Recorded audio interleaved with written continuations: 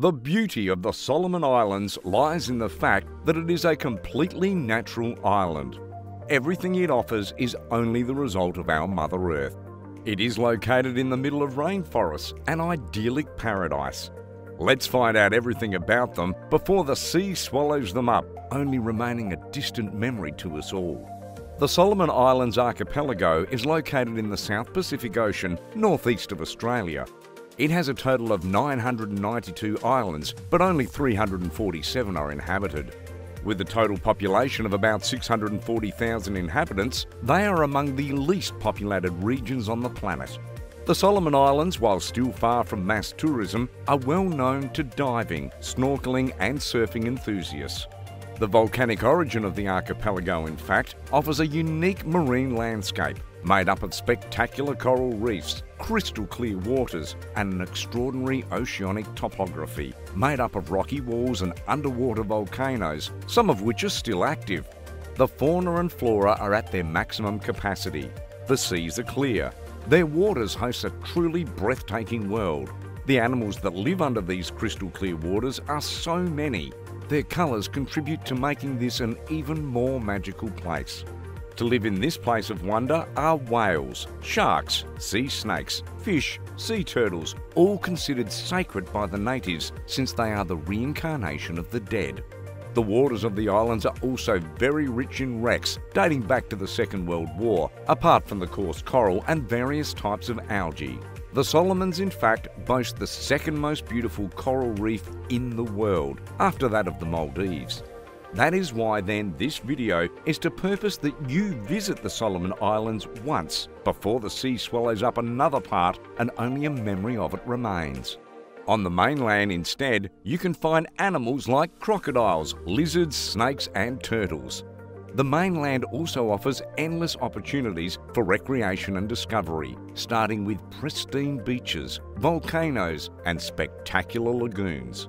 Without forgetting the tribal villages rich in history and traditions, where you can attend ritual dances and the processing of sculptures and artefacts. Guadalcanal is the most important island of the Solomon Islands, it has more than 100,000 inhabitants. It can be reached very well by plane and there is a direct airport.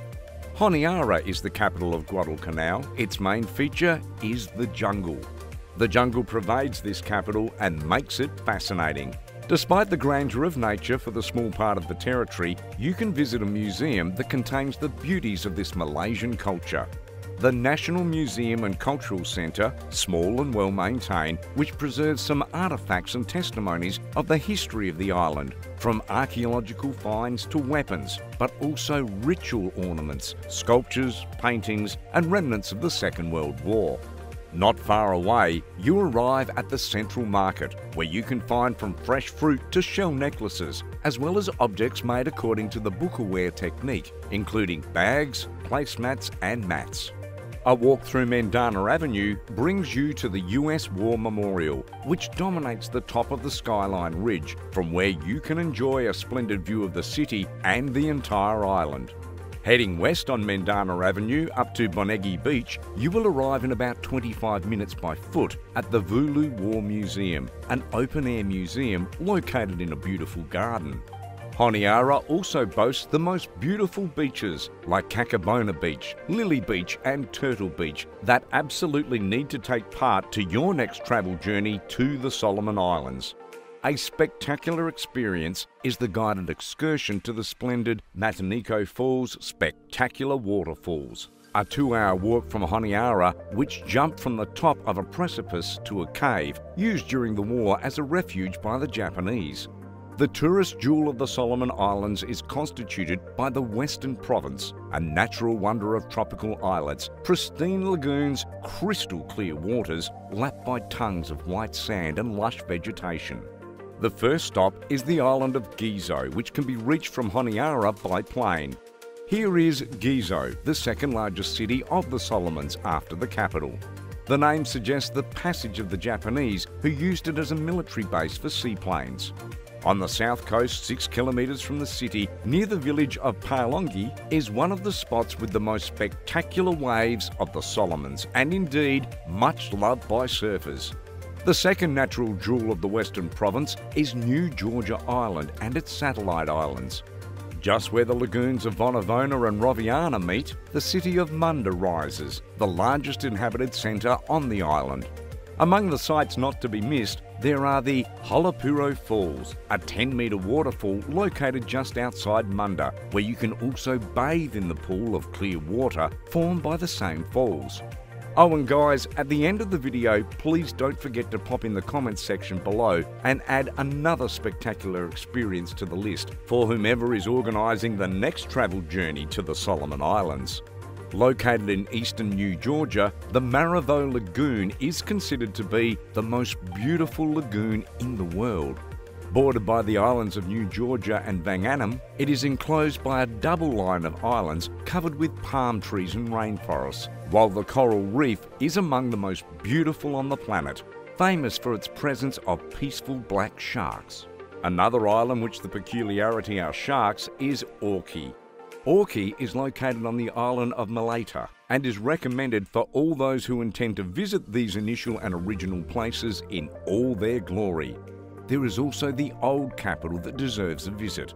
It is another heavenly place of the Solomon Islands, invaded by the sea, that invites you like nowhere else to dive in, to feel its clean and splendid waters. Adventure lovers cannot miss a visit to Skull Island, an almost fairy tale like place that preserves the skulls of warriors defeated by headhunters and a shrine where the mortal remains of the tribal chiefs are kept. Before we get to know the best time to go to the Solomon Islands, depending on the minimum and maximum temperatures, don't forget to subscribe to my channel for more content. It is necessary to know to take into account that in the Solomon Islands, the climate is tropical humid. Humidity therefore pervades this territory, with a temperature that reaches 27 to 30 degrees Celsius of maximum temperature, 22 to 23 Celsius of minimum temperature, almost entirely for the whole year. Visiting the Solomon Islands is recommended from November to April. At this time of the year, the climate is at the right temperature. You are able to travel and explore these lands in the best possible way, but you should know that there is a possibility that in these months they can generate storms. Since also the magnificent Maldives might disappear underwater, go check out this latest video on your another travel journey to absolutely add to the list.